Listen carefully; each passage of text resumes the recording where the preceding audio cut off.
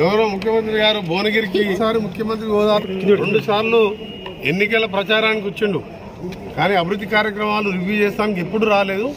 నూతన collector office బ్రహ్మాండమైన కట్టిండు ఇనాగ్రేషన్కి వచ్చినందుకు వారికి స్వాగతం పలుకుతున్నాం. దాంతోపాటు సమస్యల పుట్ట భువనగిరి.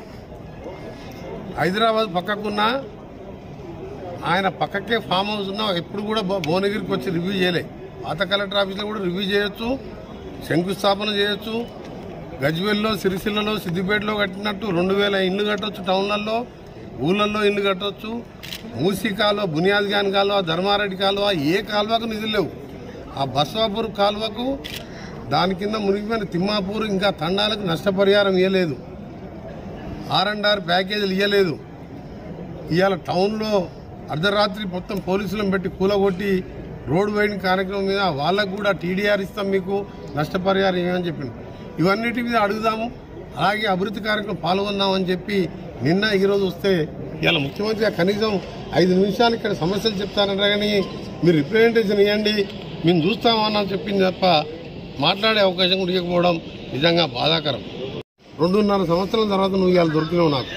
అపాయింట్మెంట్ అడిగితే ఇవ్వవు గెలిచిన త్వరలో గెలిచిన కొత్తలో యాదగిరిగుడకు వచ్చిన అపాయింట్మెంట్ అడిగితే వారం రోజులు ఇస్తాడు రెండేళ్ళు తిరిగిన అపాయింట్మెంట్ కోసం.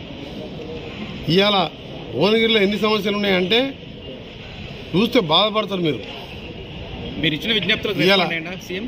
విజ్ఞప్తులు తీసి దగ్గర పెట్టుకుని చీఫ్ సెక్రటరీకి ఇచ్చిండు. అటువంటి విజ్ఞప్తులు చెప్పడానికి మాట్లాడికే అవసరం అవకాశం నా విజ్ఞాపన పత్రాలు ఇస్తారా? నా విజ్ఞాపన పత్రాలు ఏముంటాయి? నిరుద్యోగ వృత్తి ఇవ్వాలని మూడు వేలు దళితులకు పది లక్షల రూపాయలు భువనగిరి కాన్స్టిట్యూన్సీని దత్తత తీసుకో ఆలయాన్ని దత్తత తీసుకో. వాసాల మరిలో డెబ్బై ఆరు ఇండ్లు కన్నాం పది మందికి కూడా రాలే ఇప్పటికీ. మా డ్రైనేజ్ నీళ్ళకి సంబంధించిన కనీసం బునియాద్ కానీ కాల ధర్మారెడ్డి కాలువలకు కూడా నిధులు అడుగుదామంటే నిజంగా అది మంచి పద్ధతి కాదు. స్పీచ్ ఇచ్చినావు రెస్పాన్స్ ఇచ్చినావు మెడికల్ కానీ అనౌన్స్ చేస్తున్నాను అని చేసిండు. ఇవాళ మాట్లాడే అవకాశం లేదు. కాంగ్రెస్ అరెస్ట్ చేసినందుకు తినుడు కూడా బైకాట్ చేసి ఆయన భోజనం చేయకుండా ఉదయంకి టిఫిన్ లేకుండా పోలీస్ స్టేషన్ పోతున్నాను ఆయన నియంతృత్వని నిరుద్యోగ వృత్తిని దళిత బంధుని ఏనందుకు నిలదీస్తున్నా. ఎవడో పిచ్చోడు ఎవడో సోషల్ మీడియాలో పనికిరానోడు పార్టీ మారుతున్నారని చెప్తే పార్టీ మారుతా నాకేముంది? ఇప్పుడు నిరుద్యోగ వృత్తి ఇల్లు కట్టించిందా? మాట్లాడతాను పది నిమిషాల అవకాశాన్ని అయినా పార్టీ ప్రతిసారి మీకు ఎప్పుడో చెప్పిన భువనగిరిలో ఒకటొక మాట మాట్లాడుతున్నాను కాదు కదా? తొమ్మిదేళ్ళ తర్వాత మొట్టమొదటిసారి నువ్వు భువనగిరికి వచ్చినావు నువ్వు చేసే పనులు డ్రైనేజ్ కట్టినావు వైడింగ్ చేసావు ఇవి అంతటా నడుస్తున్నాయి. మరి సిరిసిల్ల సిద్దిపేట గజ్వేల్లాగా నీ పార్ నీ అసెంబ్లీలలో నీ కొడుకు అల్లుడు అసెంబ్లీలలో ఇరవై ఇరవై వేల ఇల్లు చేసుకున్నావు కదా. ఇరవై వేల ఇల్లు కట్టుకున్నావు కదా. ఇవాళ హైదరాబాద్ డ్రైనేజ్ వాటర్ వచ్చే బునియాద్ గాని కాలువ ధర్మారెడ్డి కాలువలు ఎందుకు పూర్తి చేస్తారు నిరుద్యోగులకు నిరుద్యోగ వృత్తి మీద నల్గొండ భువనగిరి టౌన్లో డబుల్ బెడ్రూమ్ ఇవ్వాలి. ఇంకా మున్సిపాలిటీకి ఒక వంద కోట్లతో అండర్ గ్రౌండ్ డ్రైనేజ్ చేయాలి. అంత స్లమ్ ఏరియా ఉంది. మైనార్టీలు పేదవాళ్ళు ఉన్నారని చెప్పి అడుగుదామంటే వారు మాట్లాడే అవకాశం ఇవ్వకపోవడం బాధాకరం. సరే ఏది ఏమున్నా సరే ఒక పార్లమెంట్ సభ్యునిగా నేను రావడం జరిగింది. దాంతోపాటు పార్టీ పరంగా మా వాళ్ళు రాజ్యాంగం మీద ఇచ్చిన దాని మీద పిలుపునిచ్చినందుకు అక్రమ అరెస్టులను కూడా తీవ్రంగా ఖండిస్తున్నాం.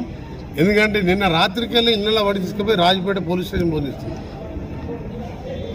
ముమ్మలరావరం పోలీస్ స్టేషన్లో మున్ భువనగిరి మున్సిపల్ ప్రమోద్ కుమార్ మా ఇంకా మీలాన్న కౌన్సిల్ పెట్టింది అందుకని నేను కేసీఆర్ గారితో భోజనం చేసిన తప్ప ఏ రోజు భోజనం చేయలేను ఉదయంకి వెళ్ళి టిఫిన్ కూడా చేయలే. నిన్న ఆయనతో కలిసి భోజనం చేసిన ఎందుకంటే నిన్న అక్కడ ఓన్ అరెస్ట్ చేయలే.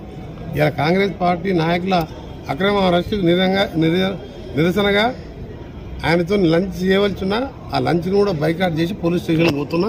ముఖ్యమంత్రి గారు ప్రశ్నించే గొంతులు ఉండాలి. నువ్వు నిరుద్యోగ వృత్తి ఇవ్వవు దళిత బంధు ఇవ్వవు భువనగిరిలో ఒక ఇల్లు కట్టవు తొమ్మిదేళ్ళ తర్వాత మొట్టమొదటిసారి నీ ఫామ్ హౌస్ పక్కకున్న భువనగిరి జిల్లా జిల్లా కేంద్రానికి మొట్టమొదటిసారి వచ్చి ఒక పార్లమెంట్ సభ్యునిగా పది నిమిషాలు మాట్లాడి సమస్యలు చెప్తా అంటే ఆయననే కంటెక్ట్ చేసి మాట్లాడాడు. ఈ తర్వాత అంత కాస్ట్లీ ల్యాండ్లో పార్టీ ఆఫీస్ కట్టుకుంటూ కోట్ల రూపాయలు పెట్టి ఇలా పార్టీ మీటింగ్ పెట్టుకొని మోడీని తిట్టుకుంటావు. మోడీ నువ్వు ఏమైనా తిట్టుకో. రెండు వందల యాభై కోట్లు స్పోర్ట్స్ కాంప్లెక్స్ స్టార్ట్ చేస్తే సంవత్సరం అయింది మీరు ల్యాండ్ ప్రపోజల్ పంపండి ఢిల్లీకి వెళ్ళి మూడు లెటర్ రాసి ఇప్పుడు చీఫ్ సెక్రటరీ గారు కోపడ్డా. సీఎం గారికి చెప్పిన పది ఎకరాలు ఇంటర్నేషనల్ స్టాండర్డ్ స్టేడియం వస్తుంది. ఎయిమ్స్ ఎవరు పట్టించుకోకపోతే ఏడు వందల తొంభై కోట్లు తీసుకొచ్చి టెండర్లు పెట్టించిన ఎయిమ్స్ బిల్డింగ్ స్టార్ట్ చేయించిన.